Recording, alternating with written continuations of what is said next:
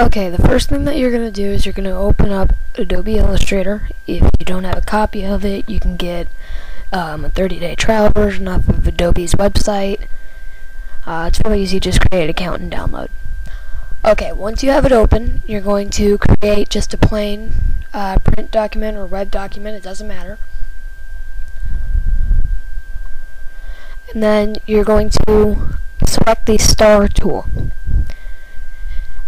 Now just drag anywhere on it. Now use the up and down arrow keys to add more points and hold control and use the mouse to uh, sharpen the points or make them smaller. Like that. Okay, make it as big as you want. Now, if you don't have it open already, use your select your gradient tool. Click on the right edge and open up your color palette. It should open up automatically. Switch it to red, green, blue, and select the color that you want. And it should automatically open um, input to the gradient palette. Now, open up the gradient palette again if it's still not open. And switch the degrees to about 320. That should make it so it's diagonal. Okay, now you're going to select it, copy it to your clipboard, and copy and paste it on top. So you're going to hit Control F once you have it on your clipboard. Now select the top, or yeah, select the top uh, layer and draw a line through it with either the pen tool or the pencil tool. Just make it like curvy, and if it makes color, just uh, click the uh, normal black border. Just okay.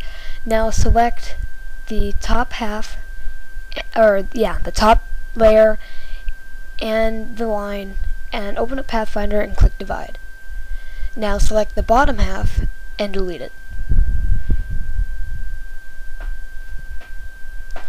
So now you should have the top half of the layer and the whole bottom half, or the whole bottom layer.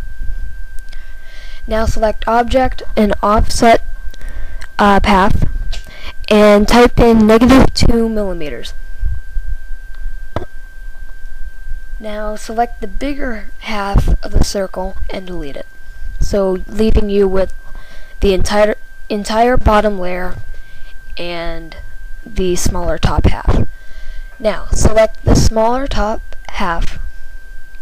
Don't worry about those black lines. We'll get them. We'll get rid of them later. Select the top half, the smaller top half, and go to Window, Transparency. Now select from the drop-down menu Screen. Okay, now go to your gradient tool again.